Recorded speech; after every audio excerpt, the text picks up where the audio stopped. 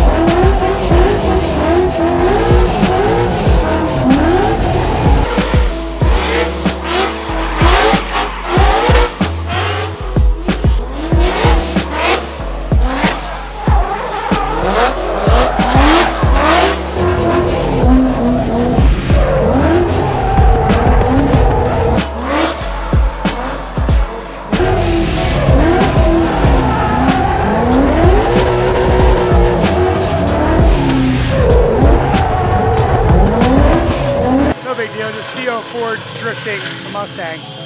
He's a lunatic, and he's a really, really good road racer. And uh, it's really cool to see him driving the car with the throttle and uh, getting aggressive with it. So.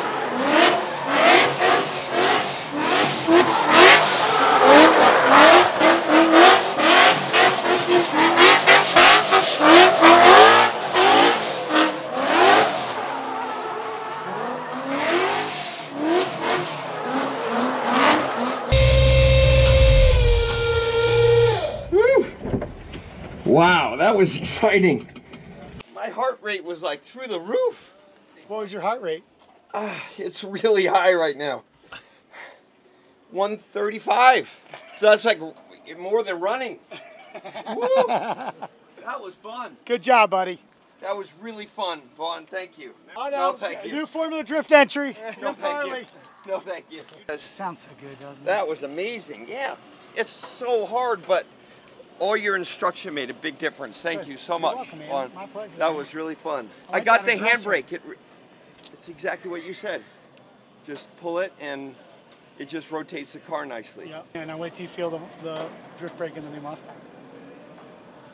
Wait till you feel that. That's and now, and now feel- you be prepared. Um, I, you will won't even need me to show up for demos. my When you're there, you can just be the one I doing did. it. I had no idea. Thank you so much. That helped.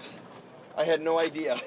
So Jim is like absolute wheelman. He's got a great, great. Uh, he races a lot of vintage cars. For those of you that might not know, and um, when he got in the Mach-E 1400, me, I'd never ridden with him. I've seen him drive, but I like the way he adapted to that car. Like I like a lot of respect for jumping in and manhandling that car and uh, watching him jump in and just listen and implement. there you go, buddy. It's Thank awesome, you. That man. was fun.